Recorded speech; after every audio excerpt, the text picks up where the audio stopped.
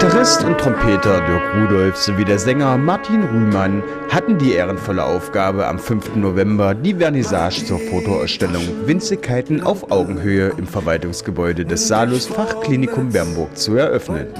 Zu sehen sind Arbeiten der Hobbyfotografin Cornelia Barnebeck, die im Salus Fachklinikum Bernburg als Sekretärin in der Verwaltungsleitung arbeitet.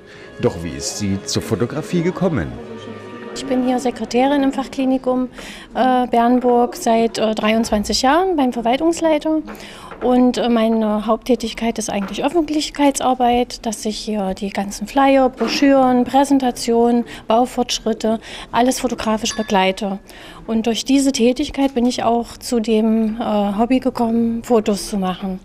Ich bekam dann irgendwann eine ganz tolle Kamera zur Verfügung gestellt, mit der ich nicht umgehen konnte und habe mir gedacht, jetzt mache ich mal ein paar ähm, Kurse an der Volkshochschule hier in Bernburg und versuche die Technik zu verstehen und die verschiedenen ähm, Bereiche der Fotografie. Gibt es ja ganz viele Bereiche, unter anderem auch die Makrofotografie, die heute zu sehen ist, ähm, Architektur, Landschaft, äh, gibt es ganz viele Möglichkeiten. Und da versuche ich mich halt auszuprobieren um zu wissen, was für mich das Beste ist und was mir Spaß macht und was nicht so gut läuft.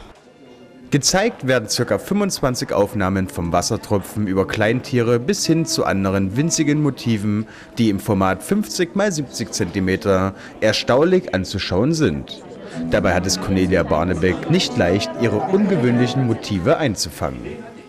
Also zum Beispiel am Wassertropfen habe ich mich sehr lange probiert. Ähm, da muss man Belichtungszeit, ISO-Werte, Verschlusszeiten, Weißabgleich, kann man ganz viele Dinge probieren, um wirklich äh, den perfekten Tropfen hinzubekommen. Da habe ich ungefähr so 400 Aufnahmen gemacht in drei Stunden, um dann wirklich vielleicht zwei, drei, vier ähm, perfekte Wassertropfen zu bekommen. Ergänzt wird die Exposition durch fünf Bilder aus dem Bereich der Makrofotografie, die der Nachwuchs-Hobbyfotografin Svenja Kassler gelungen sind. Wenn auch Sie sich für die einzigartige Welt der Fotografie interessieren und auch selbst zum Künstler werden wollen, dann können Sie beispielsweise Einstiegskurse an der Kreisvolkshochschule belegen, um alles Mögliche aus Ihrer Technik herauszuholen.